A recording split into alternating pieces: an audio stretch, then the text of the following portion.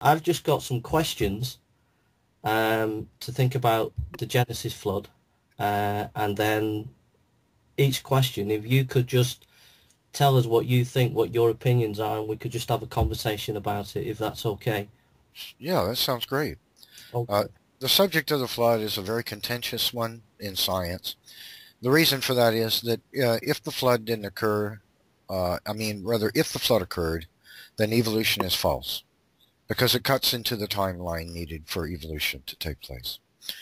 And uh, so it's been a very contentious point throughout history and science.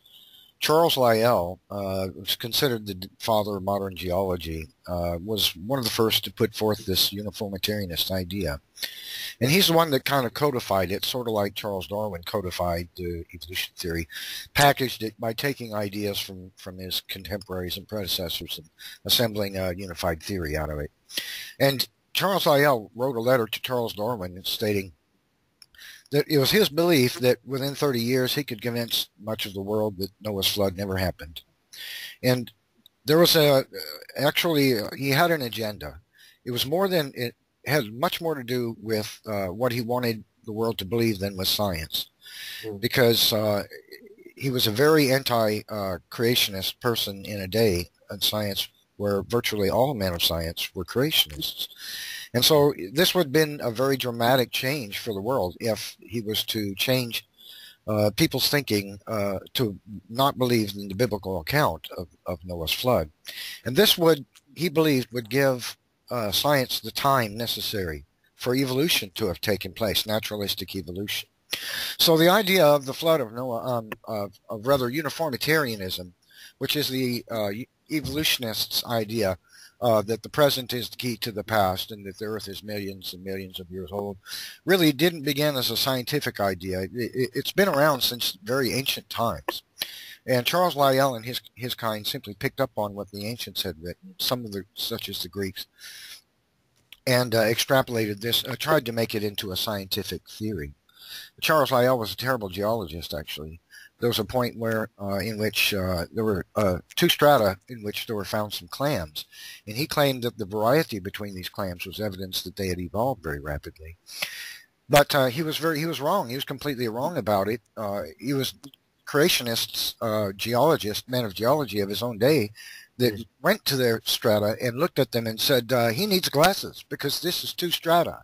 So Charles Lyell was such a terrible geologist that he had difficulty differentiating one, differentiating one strata from another. So uh, that doesn't say much about the foundations of this uniformitarianist idea, does it? wow, that's but, amazing. But it is a critical subject because uh, it, it, points to the authenticity of God's word, the, uh, the authority of it, and it also is very important because it's uh, critical to this evolution theory. If the flood occurred, you cannot have evolution it's it's over with. And uh, those sciences dis, disproven evolution. I would go so far as to say disproven evolution. Uh, people still cling very hardly to this age of the earth idea and that there was no global flood because they need it so desperately for evolution to be true. Mm, mm. That's absolutely amazing. That's, that, that was really interesting. So can I ask a couple of questions then about what you said. Um, the, what I what I found, I don't know if you found this, but what I seem to listen to is I hear these atheists and evolutionists, and the atheists say, "Oh, evolution's nothing to do with atheism."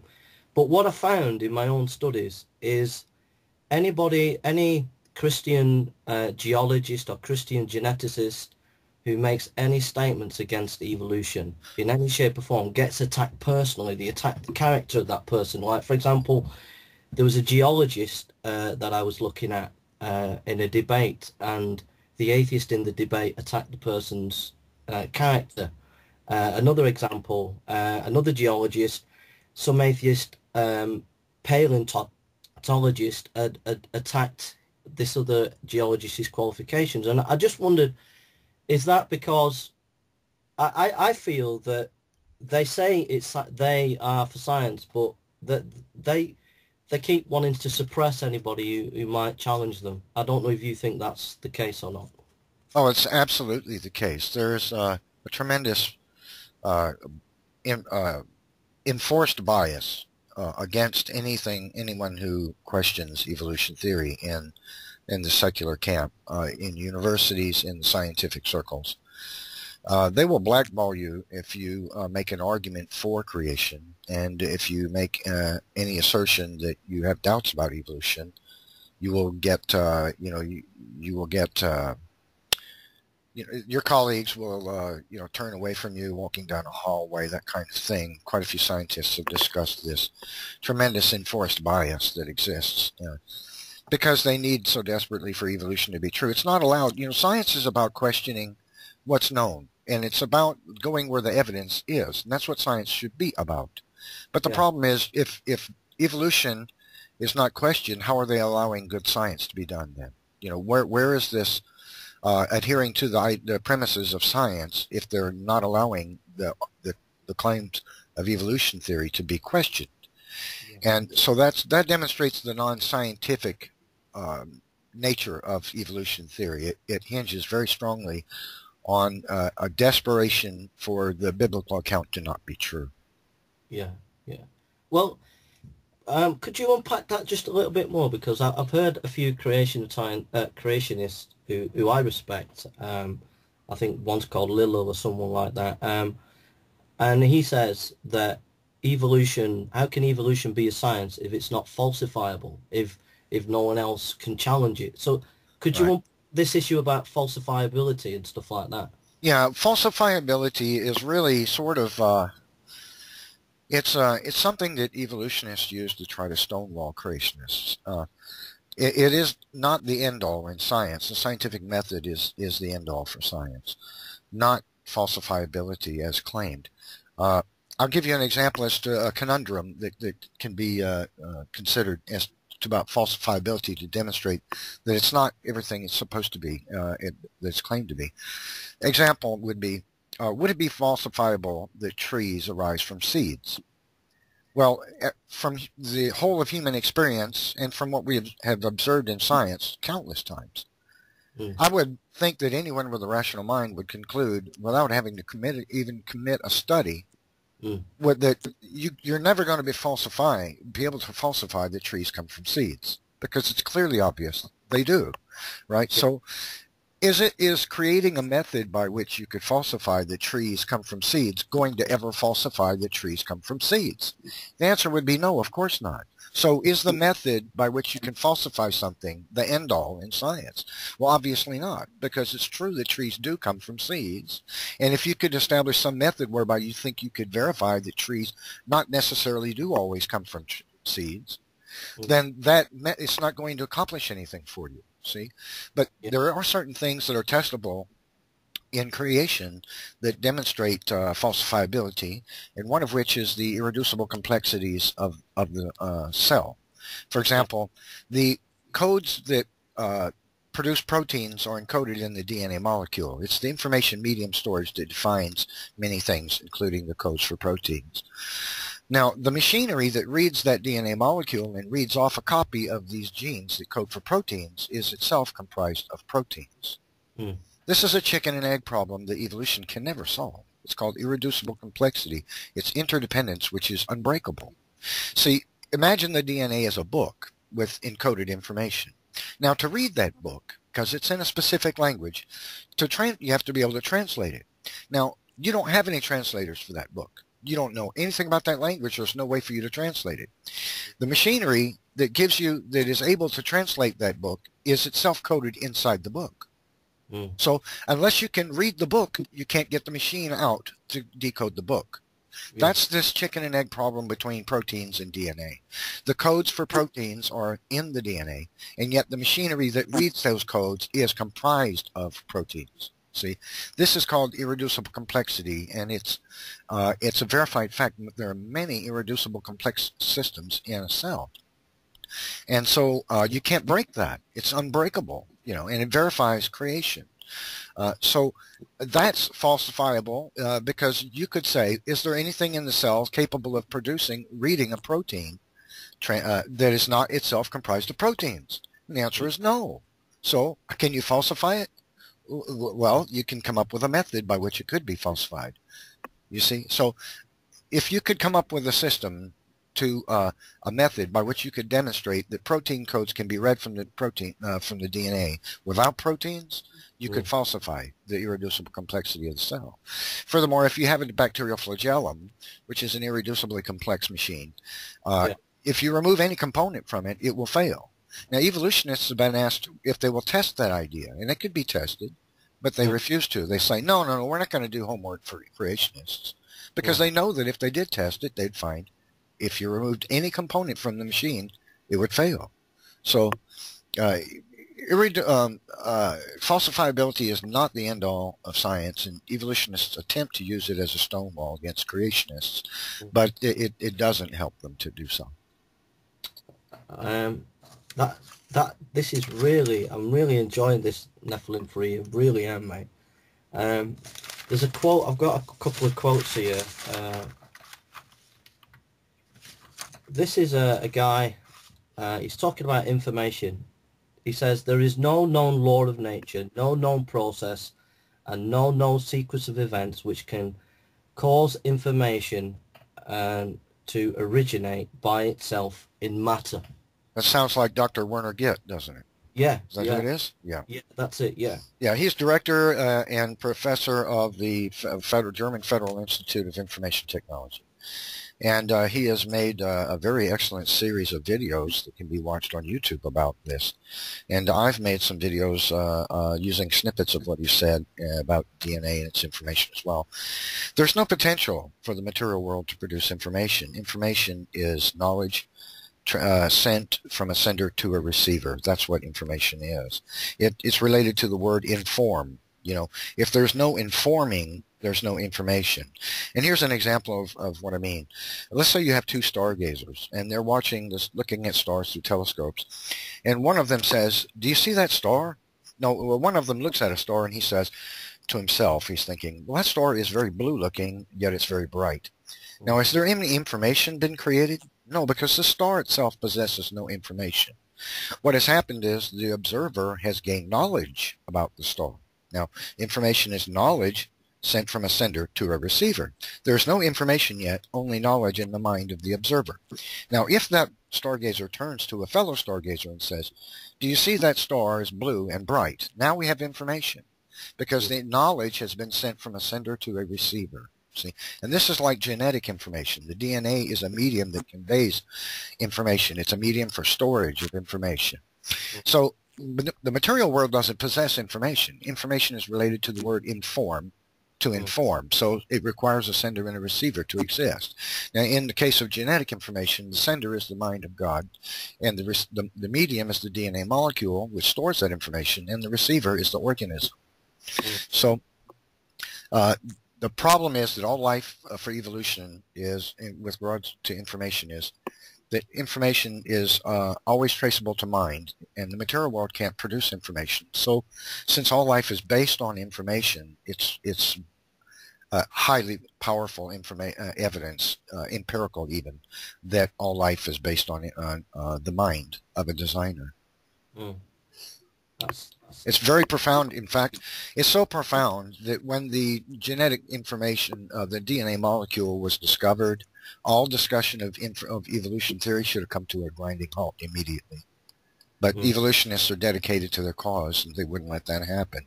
Once we discovered that there was a, a super complex information storage medium in the cell, there should be, have been no more discussion of evolution it should have ended immediately. Obviously, life is designed. That's an obvious inference, but evolutionists are not willing to concede that, of course, or any of the other evidences that science has produced which discredits evolution. Hmm. That's awesome, man. That I tell you what, you, I really, I really appreciate this, Nephilim Free. Um, is there any area that you that you'd like to discuss or expound? Uh, I've got a, a, a few questions to ask, but if you if you want to open up and talk about something uh, on this topic of the flood, uh, or or if you want me to just throw some questions, just feel free. Yeah, there's one thing I would like to point out is, I, you know, I used to believe in evolution, and it was only about six years ago or seven that I actually did.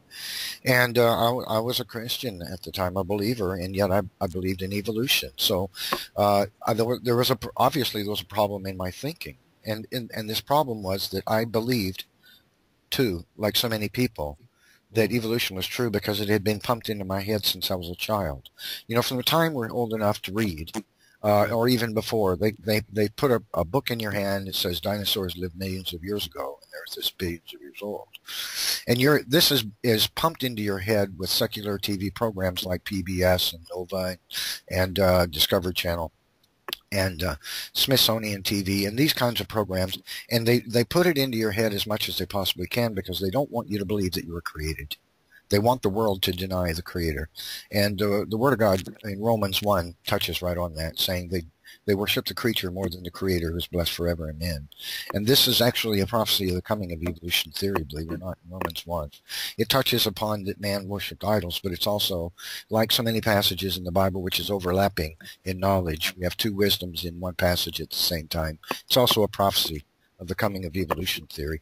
But I believed in evolution wholeheartedly. I was fascinated by it. I remember sitting up on my couch one day, there was a preacher on TV. He said, evolutionists talk about their theory as though it's fact. And I sat up on the edge of my couch and said, that's because it is, you idiot.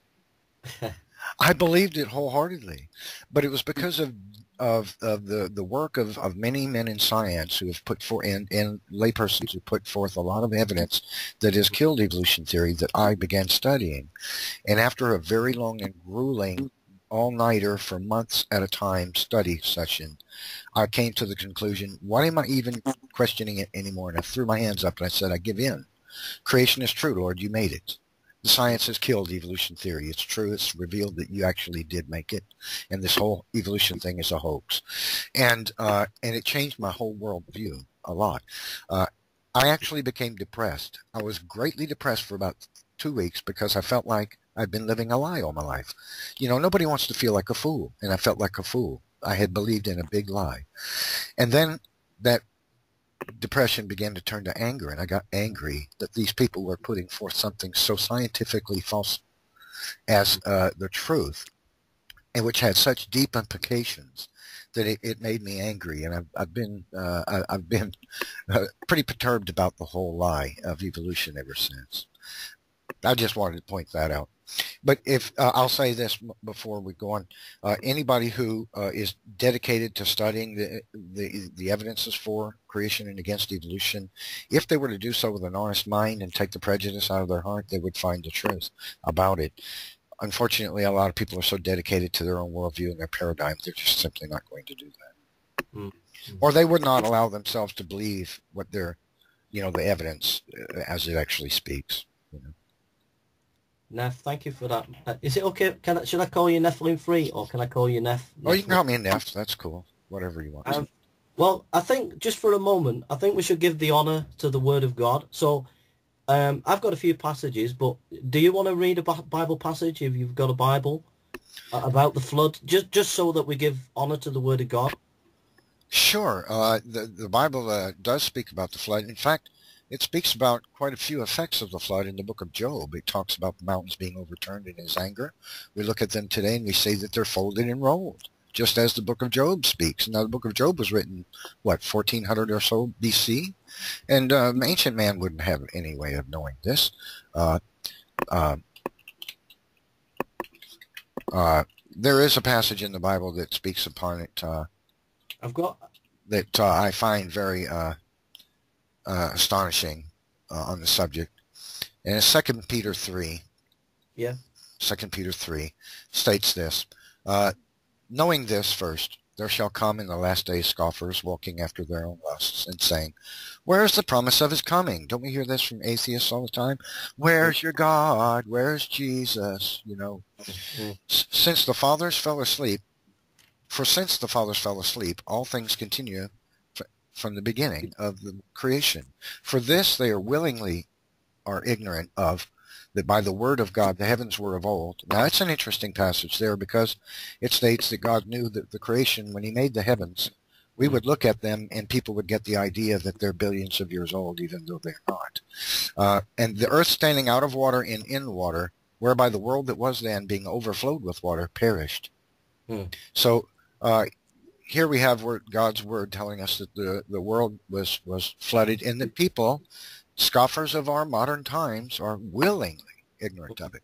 willingly, yeah. not not not ignorant because there's not the the evidence, the knowledge out there is not out there to demonstrate it to them, but mm. willingly ignorant. And I think I see that in the uh, the attitudes of many evolutionists towards uh, the the uh, towards geology. Mm. Mm. Oh, thanks for that. Thanks for that, Neff. Um, that's the passage that I had written down as well that I was going to read. So thank you. Um, is there anything else you want to say? You feel free. This just feel free to be at home. Uh, if you just want to, you know, co-host with me. Just want to say anything, just feel free. Well, I uh, there's so much that we could talk about. Really, it's just a matter of what what it is that you'd like to discuss. But well, I've I've got a few questions. Could could we just go through a few questions and get to some nitty gritty things on this uh, on Noah and the flood? Uh, sure, sure, yeah. Just to unpack. Uh, someone says there are Christians around uh, who say that the flood was local. Mm. Um, and some atheists might say uh, there's evidence that the Noah's flood uh, was just local in Mesopotamia, wherever. Right. So how, how would we respond to that? Well, I would say that the Mesopotamian, uh, firstly, it needs to be understood that the world is filled with legends of a, of a flood. And about 86 or 7% of them, it was a global flood. Now, and uh, these are distorted remembrances of the actual biblical account. They they were distorted because they weren't written down in Scripture. You know, Scripture is the inspired word of God given to man, so Scripture has the accurate account, and these legends are distorted word of mouth accounts. Uh, but uh, it's uh, the reason that we have so many uh, legends of the flood is because of the Tower of Babel affair, when man split out, split off, and encompassed the world he took this remembrance of a flood with him, and so it's been, it's remained to this day as legend in the various tribes of mankind. But if it were a local flood, why would God have had him build the ark? It makes no sense. In the Mesopotamian count, we have a, a local flood. Now, it may, if you think about it, it, it's really nonsensical. So God tells uh, uh, uh Zarathustra, or whatever his name is, I've forgotten, uh, not Zarathustra, I, I can't remember the name of. Uh, building uh, build a barge, not a boat, not an ark, a ship, but build a barge and put all the animals on it. And then he rides out this local flood and they step back off on the dry land again. That makes no sense. Why go down a river on a barge? See, it's nonsense. Yeah. Uh, If there was a local flood, why would he even have the animals go there? Why, why wouldn't he have told them, uh, you know, move because there's going to be a flood. Just go somewhere, move that way 20 miles, you know, or 30 miles. So that makes no sense. Uh, it, it, only makes sense if it's a global flood for God to have the various kinds of life preserved and put on the ark. Mm. So the, the Mesopotamian accounts are uh, they're really nonsensical, and they demonstrate that uh, they're they're a cartoonish account in comparison to what Scripture gives us. Thank you. What about um, the argument that that uh, an atheist might come at and say, well, you know, uh, if you read Genesis chapter six, uh, seven, and whatever, that it's myth. It's all mythological, um, and um, they might turn around and say these floods just sh- show that um, that that that it's just the kind of thing that they did that that they were near, they lived near rivers, mm-hmm. uh, these cultures, and that's the kind of thing they talked about. These kind of floods and wrote about it, and the Bible accounts just similar to that. Uh, how would we respond to that? Well, as I've pointed out already, the, the world is filled with these legends of floods because there was a Tower of Babel affair. And when man split off, he took this le- the remembrance of the flood with him. Now, the flood of Noah did leave behind many brim-filled lakes on the earth, very uh, probably ca- nearly countless lakes. Most of them very small, pond size or small lakes, and they would have burst their natural dams and flooded. So the earth would have had many small local floods after the flood and uh, you would have had, uh, and there were some very great local floods that took place after the flood of Noah as well. One of them carved out Bryce Canyon, another carved out Grand Canyon, and the entire, uh, a very large area of the southwestern United States where you see these giant columns of stone standing upright. Uh, these were left behind by a giant local flood which occurred after the flood of Noah because there was a massive lake above it, north to the north of it, which broke its natural dam. But it, it doesn't stand to reason that the, the flood legends of the earth stemmed from these local floods because uh, so many of them are correspond in this way. In I think it's 80 some odd percent. I thought 86 or 7 percent. It's a global flood in these legends. In in a in a large percentage of them, uh, the the the hero of the story takes animals on his boat or in his canoe or whatever to save them, just like the biblical account. Uh, if it was, in many of them, it was a man and his family instead of just a, a, one person. So that we see a lot of correspondence between the various legends of the flood in the various tribes of man around the world. And, and, and this is because there are poor, distorted remembrances of the actual biblical event. Yeah, yeah. Um, I, I was doing some research and these stories are in all over the world. They're in China, they're in South America. And so it, it's indication that something's so, some some definitely uh, lots of evidence out there, and so I agree with that. That's really good. So we've looked at it's not a local flood. We've looked at the issue of myth, and I went and read. Um, I've got a stack of uh, these uh, stories, and I, I read the uh, Gil- Gilgamesh epic, and I read as many of these ancient myths as I could and I concur with what you were saying there, uh, Neff. Um, the third one, we'll probably go over again some of the ground uh, that you've covered before, but the third question is, is it is it scientific? Is the flood scientific? And there's quite a bit to unpack there. So um, in terms of statistics, um, uh, the size of the boat and getting the animals on the boat, um, is is there an argument that could be against us against the flood that uh, against the uh, Noah's flood that there might have been too many species or too many animals and that the boat was not big enough to to carry all those animals? What, what do you think about that? Statistics. yeah i've heard i've heard many uh, people put forth that, uh, questions relating to that. Uh, the ark was big enough to hold 3000 railroad cars. It was not a boat. It was a ship and it had three levels. Uh, yeah. I don't remember the dimensions of it, but the interior space of it was over a million square feet. I mean, it was huge. It was it was similar to a modern day cruise liner. Uh, uh, maybe not as big as some of them, but it was it was very large. And uh, the space calculated for the interior of it, if we if we put the original created kinds in there, was more than enough space. In fact, it would have had so much space uh, firstly, let's talk, discuss what a species is briefly. Uh, yeah. The word species was originally coined by creationists to describe the biblical created kinds. But evolutionists have taken that term since then and distorted it so badly that now we have what's called the species problem, and evolutionist scientists are uh, unable to define what actually constitutes a species. Uh, many biologists who teach evolution biology actually admit that they can't, they either have great difficulty or un- unable, unable to uh, describe, define what a species is. But if we uh, consider the uh, what a species actually is, uh, then there would have been plenty of space on the ark to put them, the hmm. original created kinds. For example, all dogs can come from two dogs. If the dire wolf, for example, is the original created dog, and it very well may be, we could hmm. get all the dogs that 200 breeds of dog that exist today from those two dogs. It's just genetic expression that produces the variety, but that's not evolution because it doesn't give rise to any new structural designs, and that's what evolution requires. So it can't be con- misconstrued to be evolution. Variety does not equal evolution.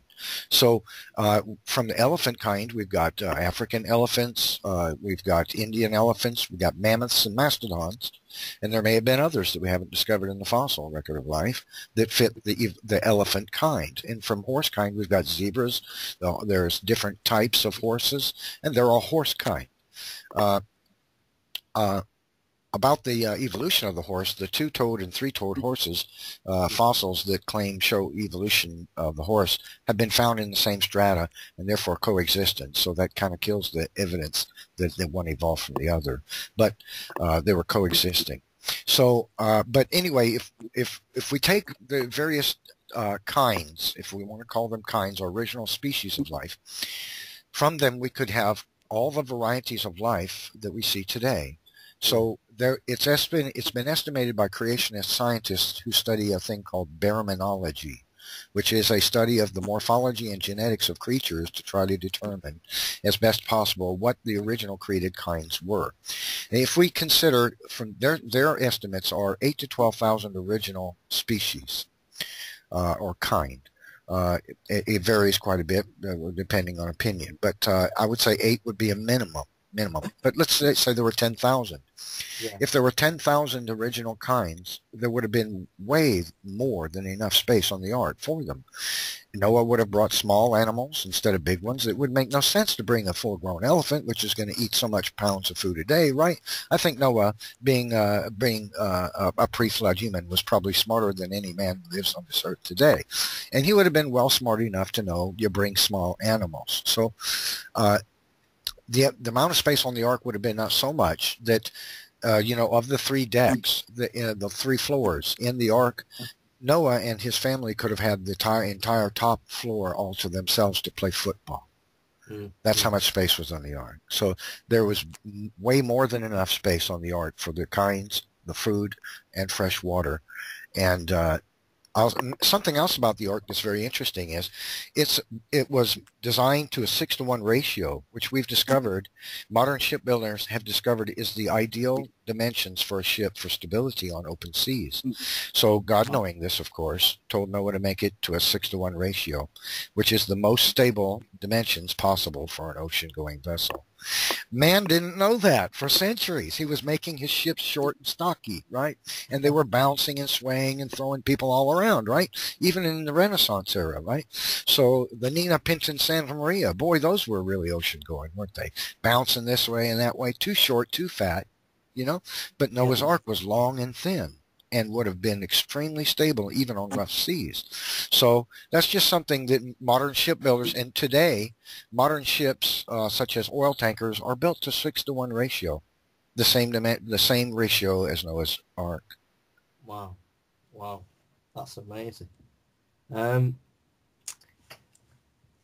so the um, I had a video um, someone would say, well, where did all the water come from? And I've listened to atheist videos and they talk about some creation scientists have said there's a canopy, but I've been listening to some other Christian apologists and they've been putting out an idea about plate tectonics and about how the wa- that there, there is enough water to cover the earth if there weren't the mountains that we have today, uh, that the platonics moved and then uh, that brought the sea level up.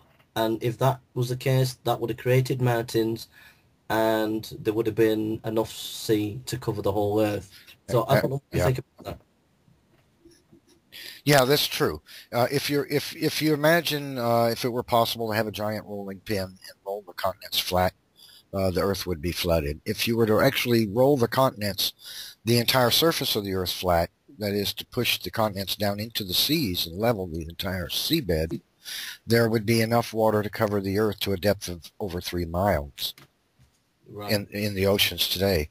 The geologic evidence for the flood is absolutely overwhelming.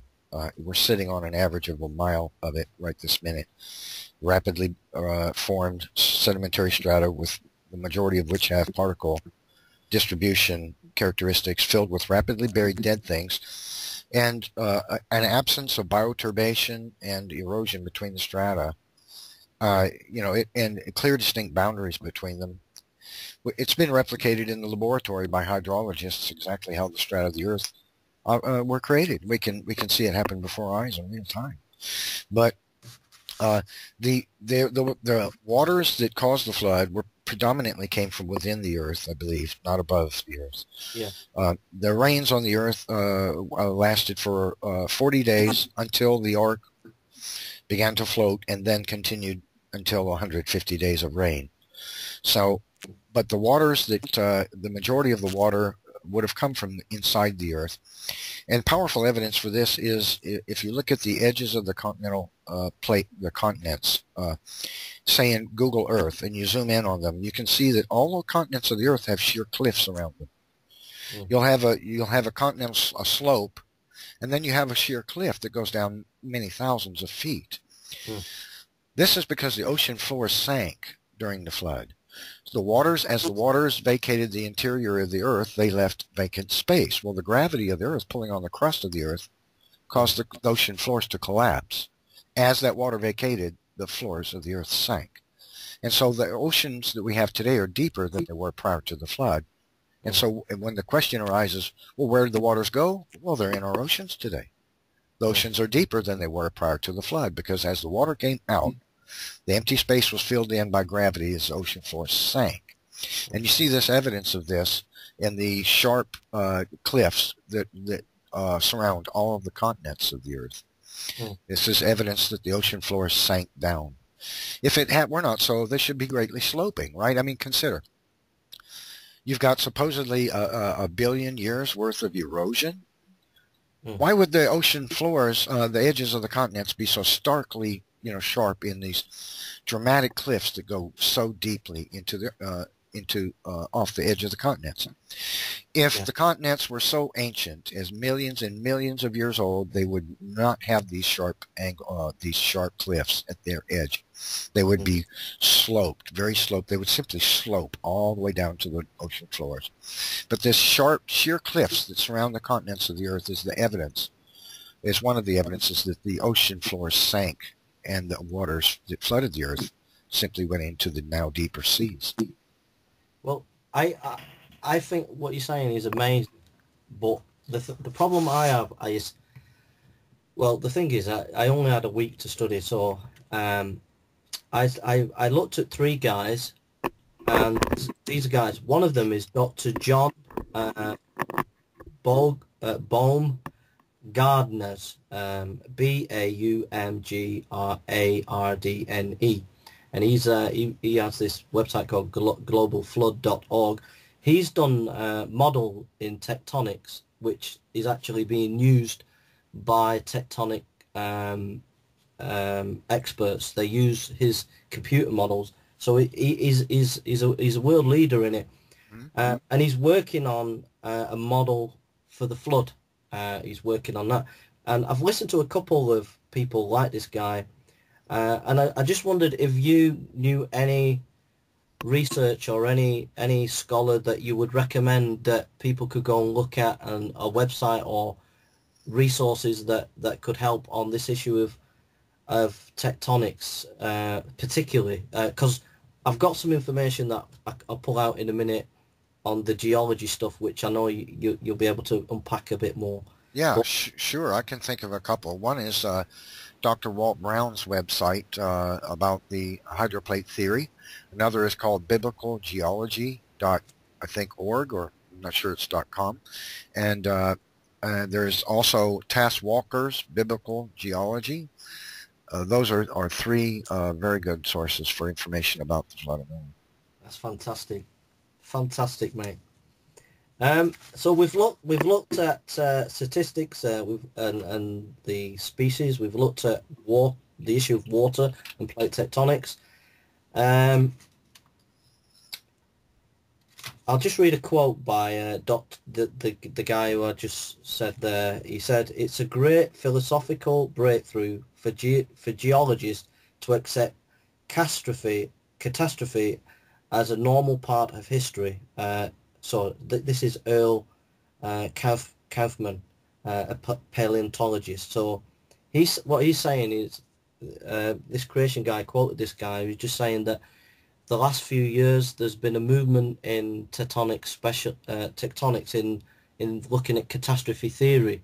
So um, that's not about the flood, but it, it shows that scholarship is moving in, in that direction a little bit uh, about using catastrophe catastrophe theory. Um, so, so, that's just a little thought there. Yeah, yeah, I would agree. Uh, you know, catastrophism was the was the mode of the day for scientists regarding geology back in the days uh, just preceding and in actually Charles Lyell's day. Catastrophism was was strongly believed in. Uh, it was it was Charles Lyell's I, uh, bogus uniformitarian uh, uniform uniformitarianist idea that attempted to do away with catastrophism. But uh, the the geology of the Earth bespeaks of catastrophism everywhere we look. Mm-hmm. Now, so let's get so into some more detail uh, on this on the issue of the Cambrian explosion. Could you, do you want to unpack uh, unpack why that's significant on this in this debate about the flood and maybe in relation to evolution? Yeah, the, the, the Cambrian explosion, as it's called, is the fact that we find uh, very deep in the strata, almost the lowest strata in which life is found. There are uh, there are some life forms found in strata just below the Cambrian, but for the most part, the Cambrian is where is where the action is. The Cambrian strata are very deep in the in the strata of the Earth, and in these strata, we find uh, creatures of a tremendous variety. Most of them uh, water-dwelling creatures. They uh, they have uh, in the Cambrian creatures we find virtually every phylum of life and body plan. And and the, we find even the most complex eyes to have ever existed on the planet. These are those of trilobites. So here in the very beginning, if you want to call it a beginning, as the evolutionists believe in beginnings, here we have uh, a bursting forth of of life with of tremendous variety, of tremendous structural design, variety, and uh, in, uh, and design in the beginning. And evolution would have us believe that this kind of development of these such variety in structural designs mm. should have taken place over a very great period of time. Instead, what we find in these uh, strata are uh, such uh, a variety of complex organisms that it argues against evolution theory. A great place where such fossils are found are the uh, some of the mountains of Canada, the Burgess Shale, which is above sea uh, above the tree line actually. In uh, in the clouds, you can climb up these Canadian Rockies, and the sides of these mountains are littered, and I mean littered with Cambrian fossils. There are millions of them. And so much so that if you if you went there with a shovel, you could dig for the rest of your life and never stop digging up Cambrian fossils. It's amazing. And there are new discoveries of Cambrian strata in China that are also overthrowing the Darwinian tree of life. The reason this argues against it is it turns the Darwinian tree of life upside down. Instead of uh, from gra- gradually uh, developing as evolutionists claim, from simple forms to more complex variety, uh, life in, in, in a tremendous variety of structural designs. We have uh, at the very beginning, at the bottom of the quote unquote Darwinian tree of life, we have this tremendous variety of creatures with uh, astonishing designs, a tremendous number of structural designs, and tremendous variety right at the very base of the supposed Darwinian tree of life.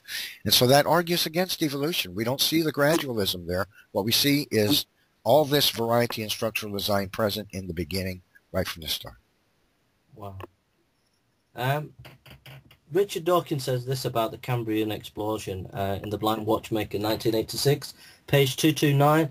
He says, and we find many of them already, this is the Cambrian explosion, and we find many of them already in advanced state of evolution the very first time they appear. And uh, he talks about how uh, creationists would be delighted with that information. Right. But I can't understand a man like Richard Dawkins, when he's faced with that kind of information, that he continues to hold on to evolution? Well, it's because of where his heart is.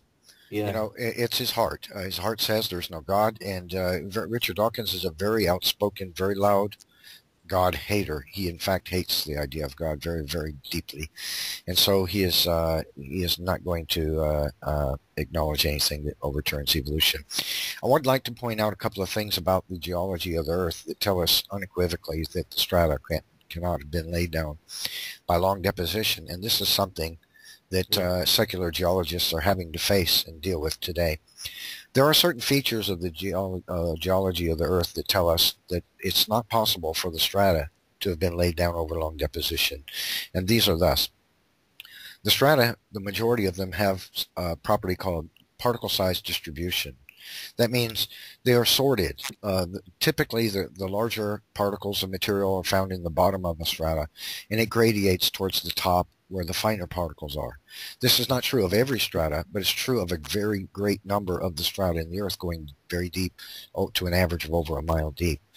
Now, part particle size distribution is created by moving water which means that the strata of the Earth were laid down by moving water and not long deposition, as was claimed in decades past by evolutionists. Cannot be, because you cannot get particle distribution over long times deposition. You know, a thousand years or a million years. It's never going to happen.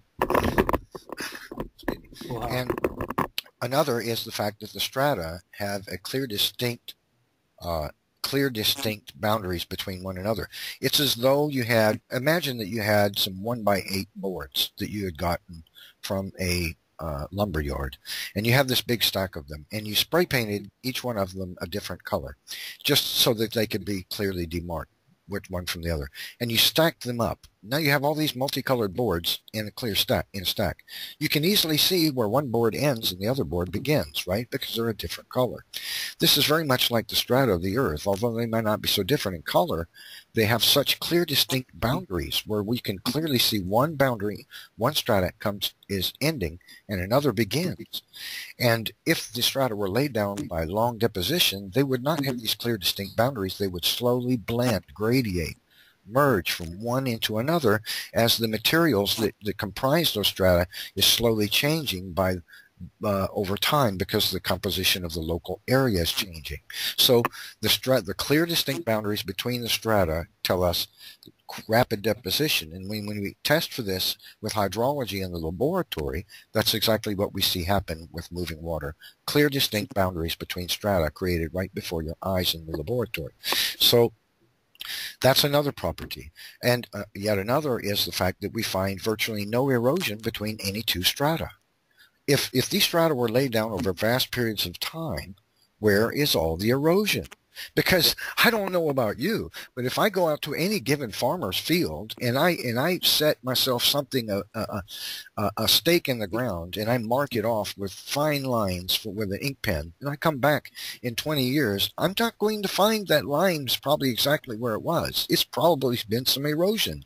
There's been some material added or some material washed away, and this is common because the surface of the earth is constantly changing a little bit, just a little bit, you know, and so it, it it's it's it's uh, it's constantly changing a little. So the the problem for the uniformitarianist is that if if they were laid down by uh, long deposition, they would have gradiated from one into another, and there would be erosion, a lot of erosion between the strata. But we don't find that. We find a strata created by rapidly moving water with a clear, distinct boundary, and then above it is another strata made the same way. And then above that, and above that, and above that, and above that, and it goes on and on and on to an average a depth of over a mile deep in the earth. So where's all the erosion? I mean, do you think a farmer's field is not going to experience either erosion, erosion or deposition over a period of a thousand years if it gets rain every a few times a year? Nonsense. Of course it is. Even the wind is going to have some effect on a lot of places on the earth. So where is all this erosion between the strata? There it's almost virtually absent. Another is bioturbation. Now, bioturbation is when creatures, burrowing creatures like badgers and, and ground squirrels and such, uh, and, uh, and rabbits, they dig holes in the earth. And when they do, sometimes they churn one strata, they dig through one strata into another, and they churn this material up. And we can see this in the strata of the earth that there's been a boring, uh, a, a earth-dwelling boring creature that dug its way into the ground there and churned up the strata. Now, if these strata, if the Earth is so old, as they claim, and the strata were laid down over such a long period of time, there should be untold numbers, examples of bioturbation in the strata. We should be able to find it everywhere. Because, I mean, over millions and millions of years, all these ground-dwelling creatures that burrow into the earth should have come and gone over that period of time, right? So where's all the bioturbation? It's just not there. And the reason it's not there is because the strata were created by the flood. See, and there was no time for a badger to dig a hole during a flood, you know. So those are some profound features of the geology of the earth that, that just scream flood and tell us unequivocally there was there was not any millions of years for these strata to have been laid down. I just wanted to point those out. Give some people listening some things to really question and uh, to think about and wonder why, wh- how can that be true if the strata are millions of years old and then go away and think about that and start to maybe question what they believe. Um, could you talk about, just for a minute, about, about rock formation? Um, because I was reading that there are, like, across America, the there's rock formations that, that stretch right across America, um, which show that there was a climatic kind of flood. And um, if you go to France, there are um, shells uh, that go for miles and miles. Um, do you know anything about that? About these long uh, disposition of rock formations across countries and places? Yeah, uh, there there are some. The Karoo Formation in southern Africa is one. And it's littered with bones. Uh, the deposits, the, the deposition of uh, organisms in the strata there is astonishing. There's hmm. millions of millions, and it's estimated over a billion in the Karoo Formation. There are over uh, a, a, billion fossils of creatures, uh, roughly averaging the size of a dog. Now that's a large area, but there are a billion of them, though. Uh, those are not little bitty animals. I mean, they average the size of a dog. There's also the Cretaceous stone, which is uh, is uh, chalk, uh, which which is coccolithophores, which are tiny uh, marine uh, organisms, single cellular or uh, marine organisms, and they they exist in plumes in the ocean. And when they have died, they have settled into material that is now compressed as chalk and this has become stone. The problem for the evolutionist is that we find this Cretaceous chalk on every continent of the Earth.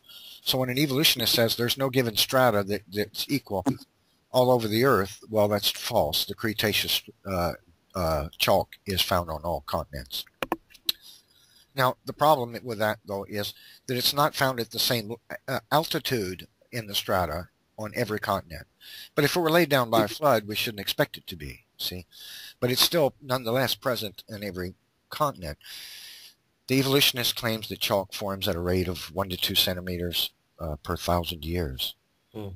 But there's a problem with that. We find fossils in them. We found dinosaur fossils in chalk, nearly complete dinosaur fossils.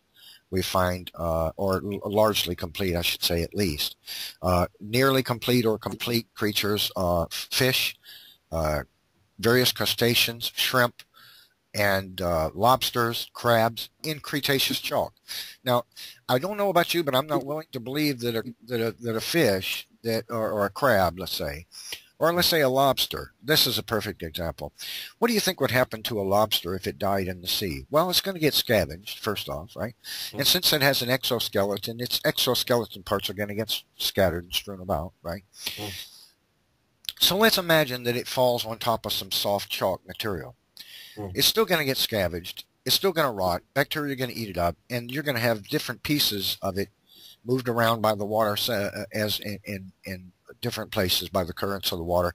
You're not going to find if if chalk formed at a rate of one to two inches per thousand years always in the in the past, remember the evolutionist uniformitarianist idea that the present is the key to the past and catastrophism is out the window for an explanation for the strata of the earth, right? These things. So if if if chalk always formed at a rate of one to two centimeters per thousand years, this creature simply would have rotted away.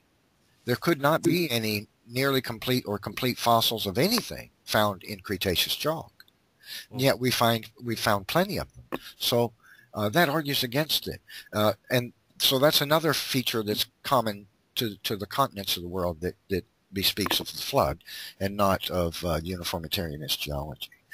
Um, so, uh, and the fact that uh, the, uh, the, the features that I already stated before uh, doesn't matter if you're looking at Europe, Africa, Asia, or the United States the, the features of the uh, clear distinct boundaries, absence of bioturbation, lack of uh, erosion, and the particle uh, size distribution of the strata is, is common to the strata throughout the world. Neff, I don't know where you get all this information, but it's it's fantastic.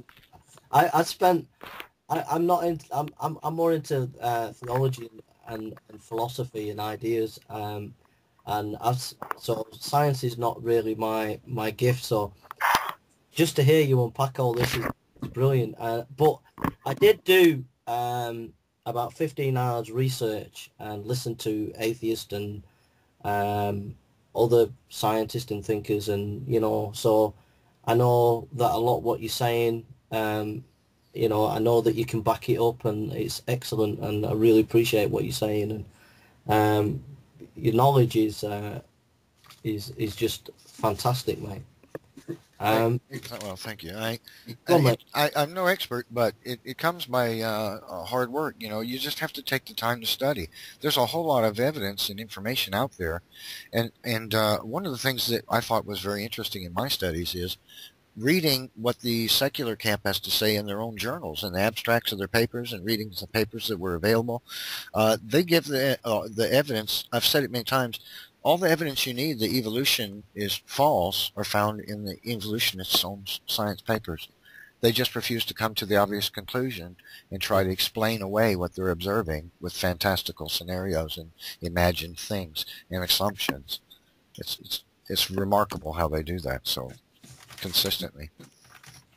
Okay. Um, well, we've looked at quite a bit there. Uh, there's one little nitty, nitty problem. Uh, I've not been able to look into it. I have put a link to the guy down here, Neff, on the um, on on the uh, Socratic Club.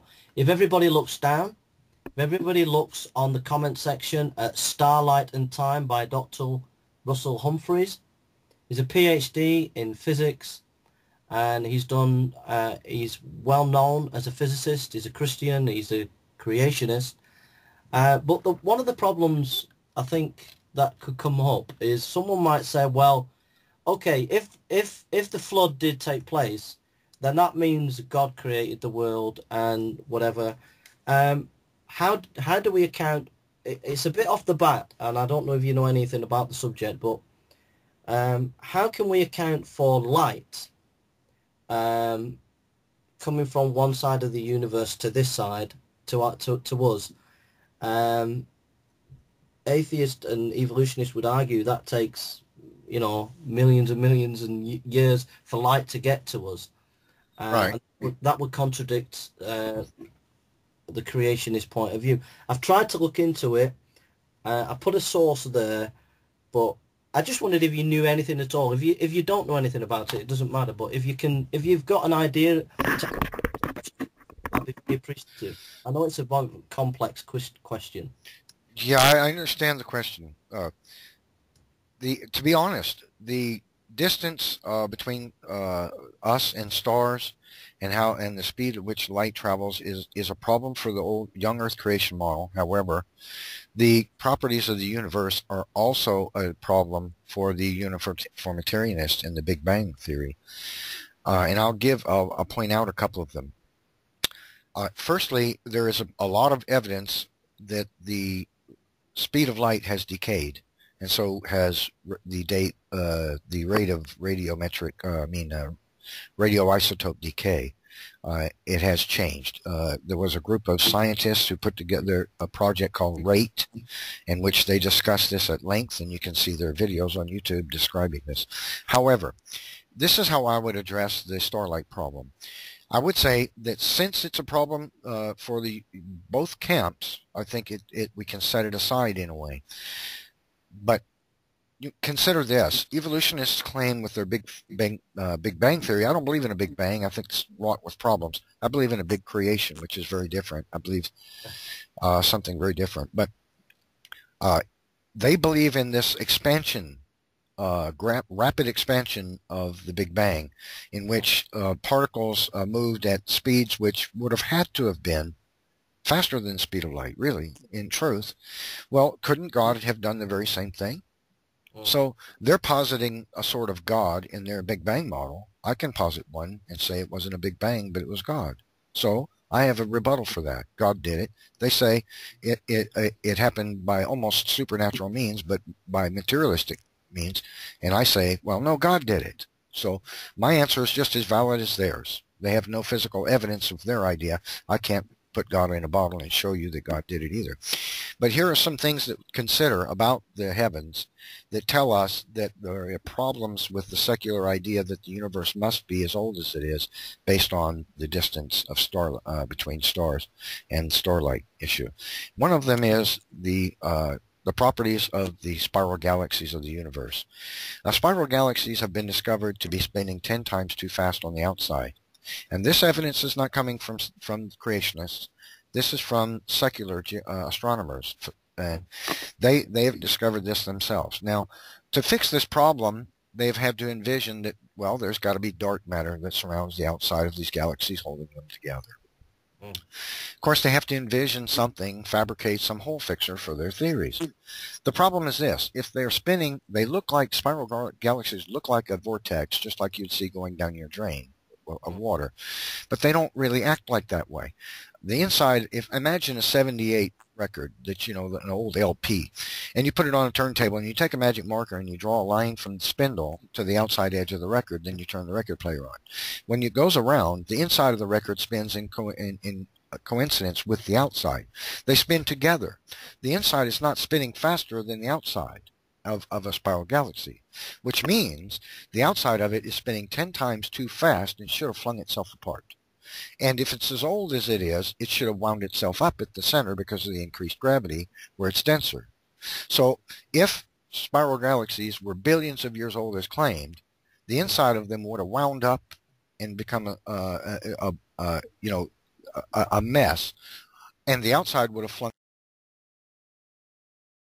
Mm. And why have they not ripped themselves apart? See, they should have. The oldest ones out there should have not looked anything like the ones closest to us.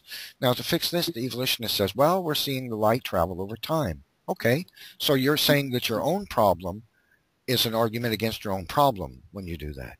See, you're you're saying that your own fix rather is is is a fixer for a problem. So it's a sort of a contradiction. And here's another evidence that's probably even more profound than that. We've discovered that the cosmic background radiation of the universe is nearly perfectly homogeneous. It's super duper mm. smooth. It varies by the tiniest oh. percentage from one area in the universe to another. Now, if had a Big Bang occurred, it would be very motley it would vary greatly from one place in the universe to another. The temperature, the Kelvin degrees of the background radiation would vary greatly. It would be very, very conglomerate-like. But it's not. It's so very smooth. And this is a problem for a Big Bang model and the age of the universe model because if you have one location in space very greatly different in uh, distance, way out there in space, Hmm. and it has this Kelvin degree and this area next to it, which according to your vision, if you look here and then you look just a little bit to the left in space and imagine this line goes all the way out to the end of the universe, then this distance between these two points, which would be very close from if you were pointing with your finger, would be very great in distance once hmm. you get way out there, right? Now, the problem is that heat can't disperse any faster than the speed of light. So how did they become so, it becomes so smooth, the cosmic background radiation, in, in, in only 15 billion years? Because there's not enough time in a 13 or uh, billion year age of the universe for this background radiation to have dispersed and become so smooth everywhere we look in the universe. So the problem for the uniformitarianist is this. If you're going to say that the universe is, is greatly old, you can't get away with 13 billion years. It has to be well over 100 billion years mm. for this background radiation to be so homogeneous and smooth. So the, the answer to your question about the starlight problem is I will say that the universe itself presents just as much problem for an old Earth camp, mm. uh, old universe camp, as it does for a young Earth universe camp. Now, the problem becomes weighted in our favor when we discuss the properties of the, the solar system because the properties of the planets in our solar system defy the accretion disk theory, which they claim is their origin. The, uh, the, the Uranus, Saturn, Neptune, the planets do not conform to their theories. They have many, many properties about them that argue there was no accretion disk that formed them. And this to me points to a special creator having formed them himself. Uh, so the, the weight overall in the universe is on the creationist side. Uh, I would point out that there's, it's remarkable that Scripture actually gives us a passage that actually speaks directly to this. The Word of God states, by the word of God the heavens were of old. In other words, when God spoke it into existence, it already had the appearance of great age, and God knew that we would see it that way from mm. the beginning. So, according to Scripture, when God created the universe, it had the appearance of great age already. That's just mm. because he made it in such a way that it would. I believe God created the universe uh, very rapidly. I believe it happened in a day. And I believe science is on the creationist side with that, especially if we consider the properties of the solar system, they bespeak of special creation and not any accretion disk theory, which they all contradict. If you want more information about this issue and someone to investigate, I would invest, uh, suggest the creationist astrophysicist uh, Dr. Jason Lisle, who uh, gives has given many talks on the subject of the universe and creation. Thank you very much, you, mate. Uh,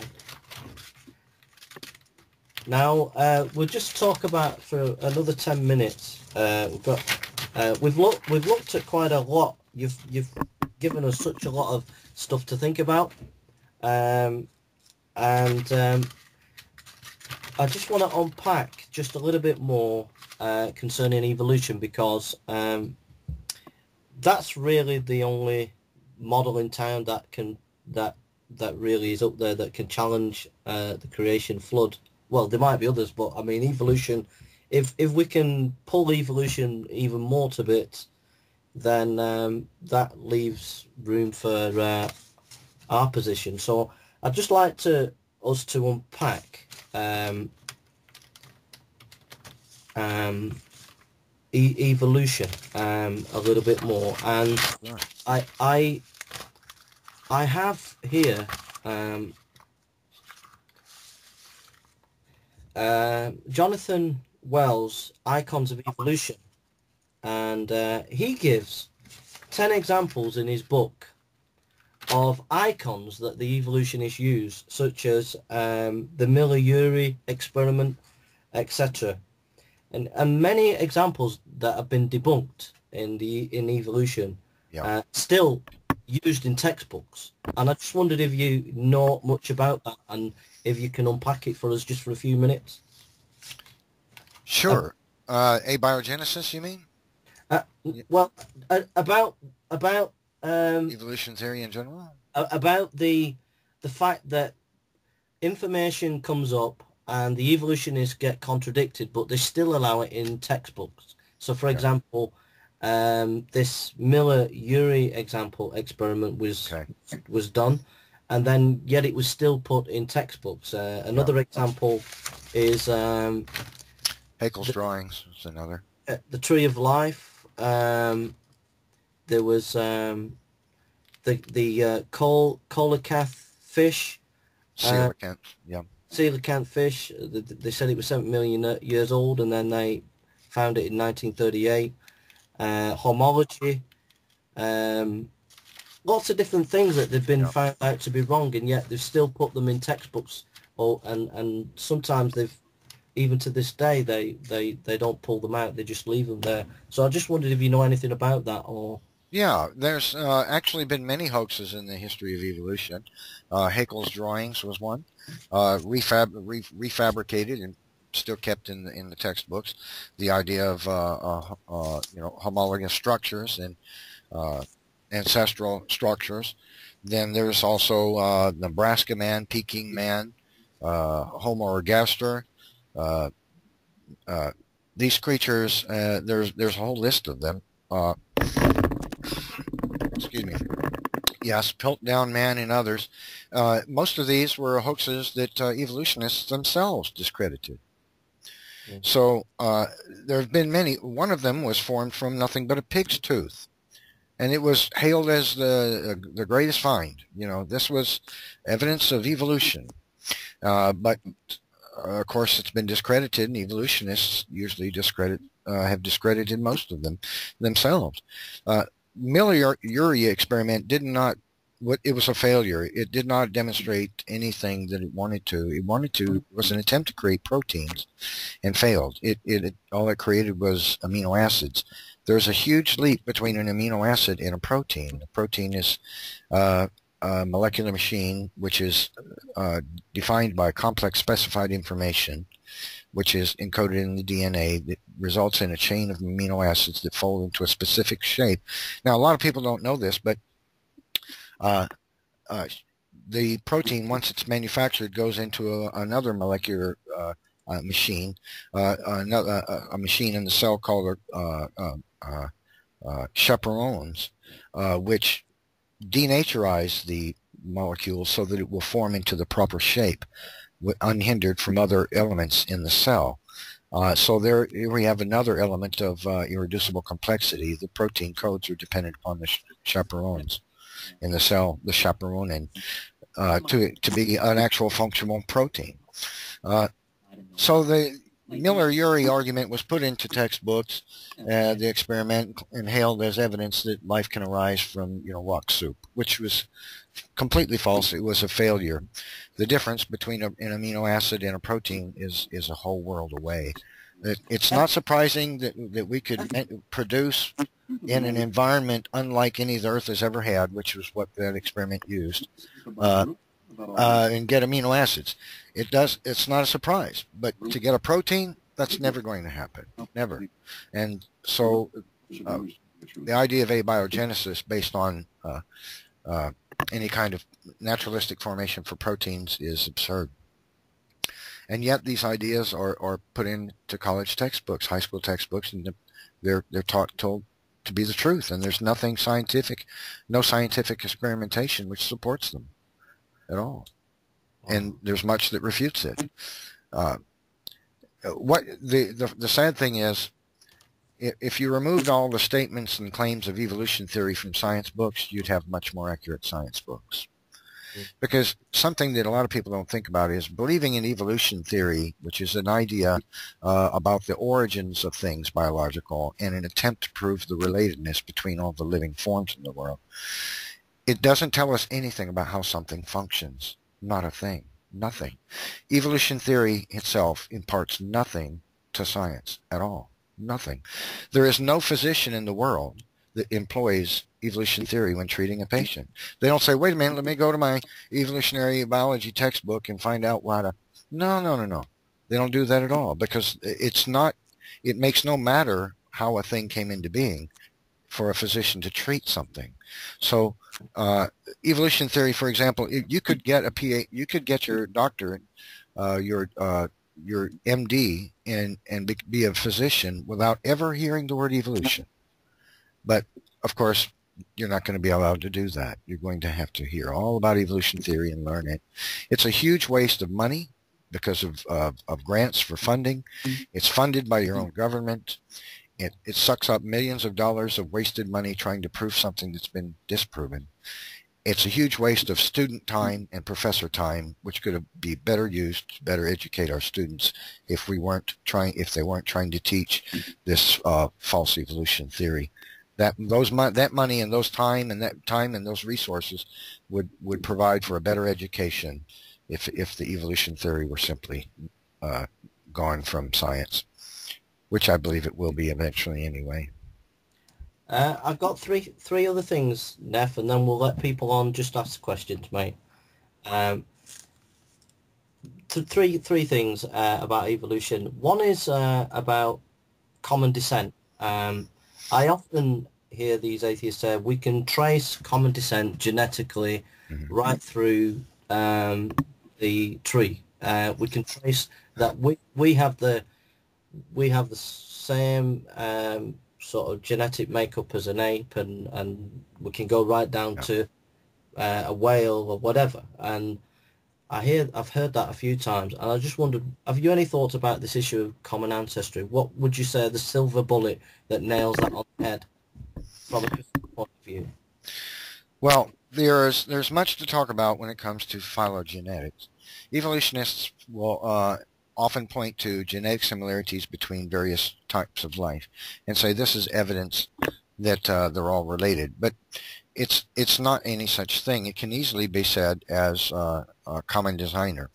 But here's something that uh, puts a cog in the wheels Neff, of this. Neff, Neff, Neff, could you just twiddle your mic a little bit? It's gone all fuzzy. Oh, okay. Is it any better? Hold on. Hello, any better? It's better now, yeah. Okay, thanks. Um, so uh, but there are problems with the phylogenetics idea. For example, there there are there are great differences between human and chimpanzee DNA that that tell us that man is not related to a chimpanzee. One of them is the recombination hotspot locations in our DNA. They're different. This should have been preserved if evolution were true and if man and ape chimpanzee had a common ancestor. This should have been preserved, but they're not. Now, the problem for the evolution theory is that translocation of these by mutation mm. it would be would be extremely detrimental to the organism. It would be either grossly deformed or dead. It wouldn't develop. If you were to relocate these recombination hotspots to different chromosomes by mutation, then the organism would simply not develop properly.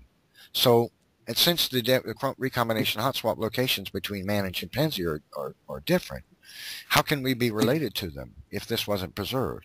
Because mut mutation, which moved them, would cause severe disability, uh, deformity, or death. So how do you get evolution from something that turns out a mess? See, it's a problem. That's a great problem. And and another example is the fact that humans share 7,000 genes with the California purple sea urchin, and yet we're not genetically uh, we're uh, like we're not uh, structurally like them. We're not biochemically like them, uh, or hardly so.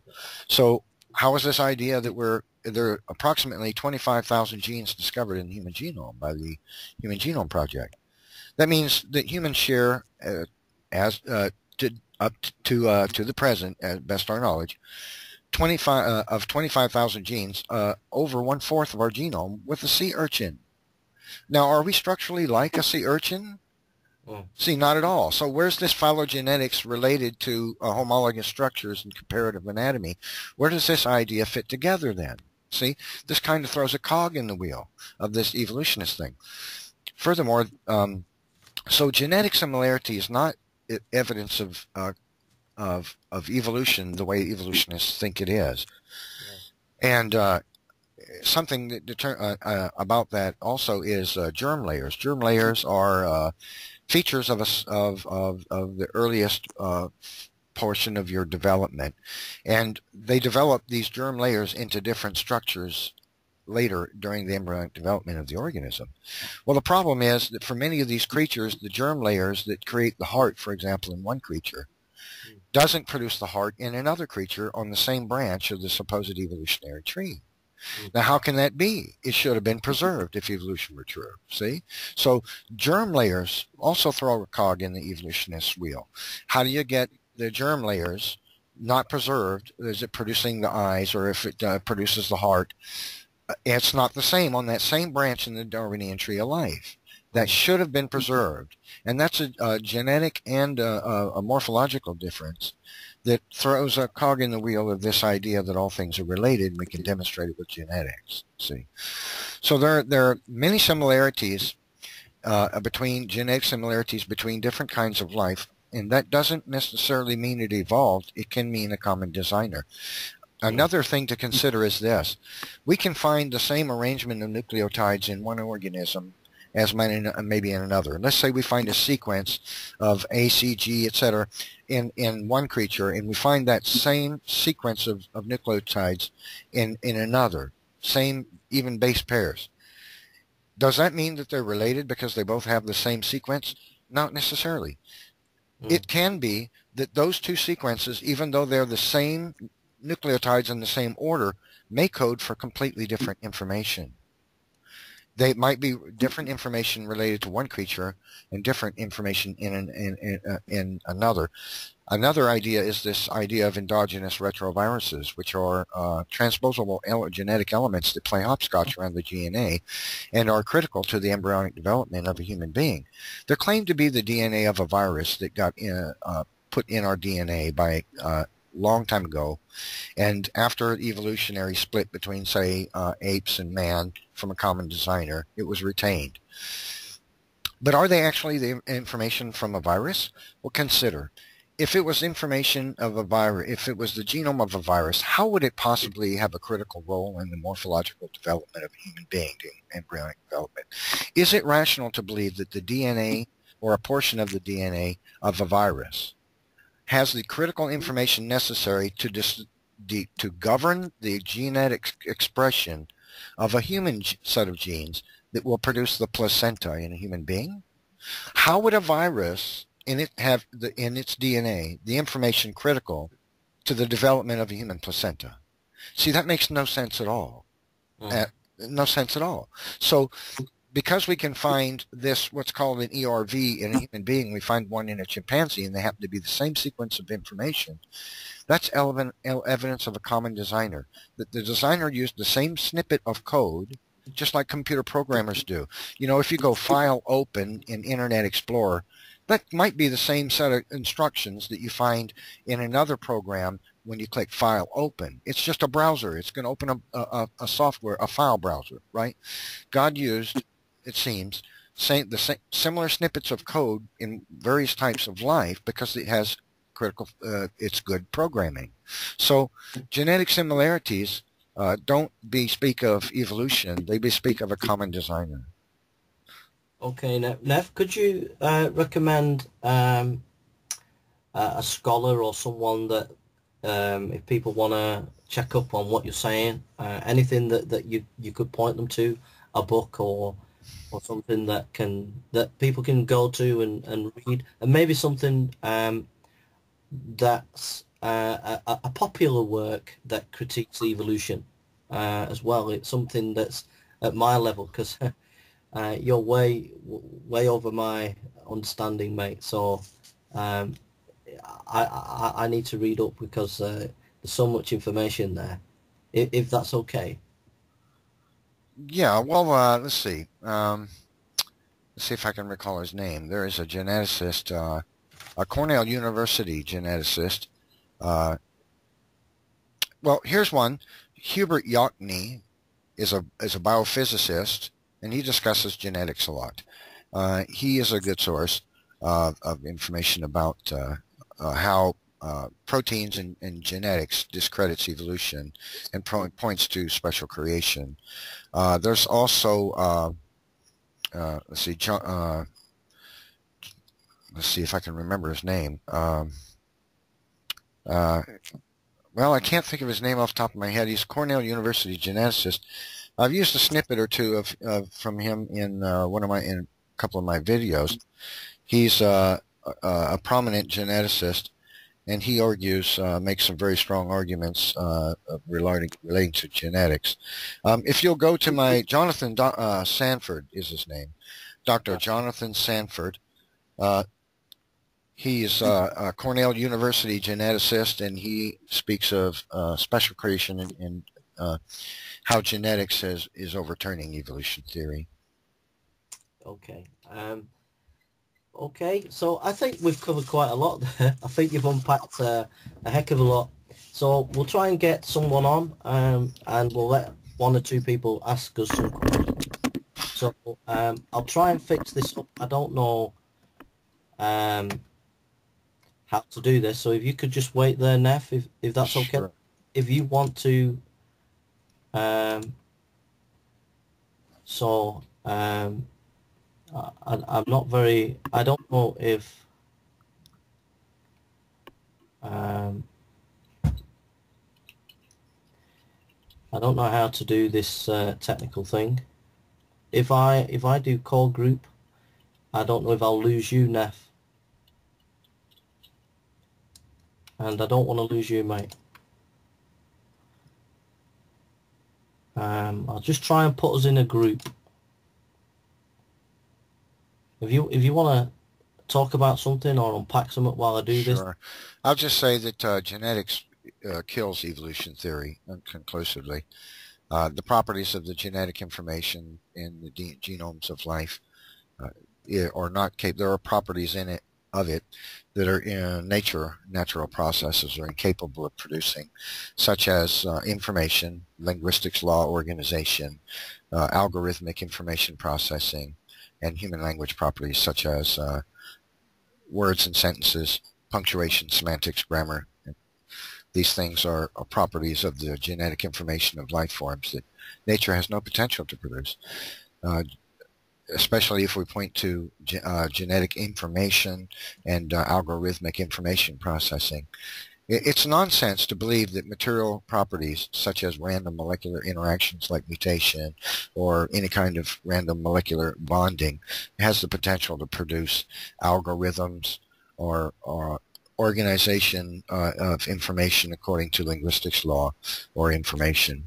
It's just nonsense. These are things that come from mind.